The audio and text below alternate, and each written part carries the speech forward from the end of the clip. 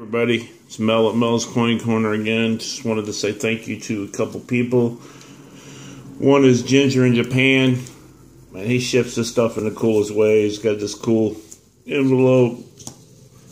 Nice little letter saying congratulations. With all the drawings on it. Very cool. Came with two awesome stickers.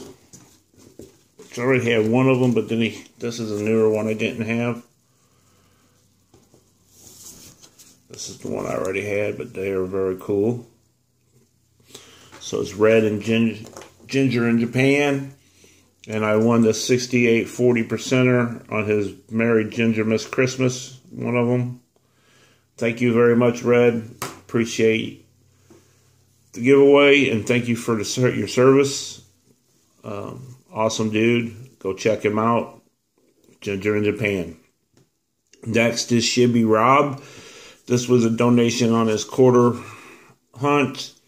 And what he did, you got five rolls for $20. Um, and then he counted all the W's you had in your rolls. And then the top W count won a prize. The prize was this the commemorative Washington commemorative.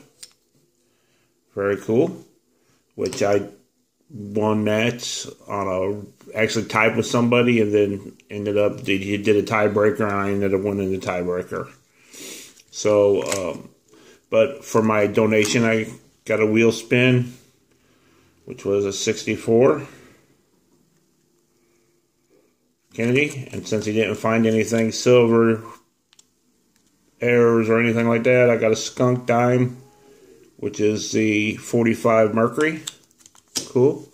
Then I got a mystery box pool, which ended up being the 36 Buffalo. Very cool.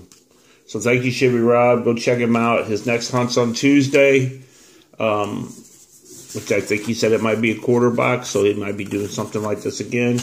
Very cool. He had a good hunt today. Had silver in his half dollar box. I ended up with four or five silvers in my rolls an awesome donation, uh, also donation silver. So a couple two dollar bills, red seals. It was fun. Go check out Shibby Rob. Uh, next, I'd just like to say update on the ninth wheel. First place is this awesome, beautiful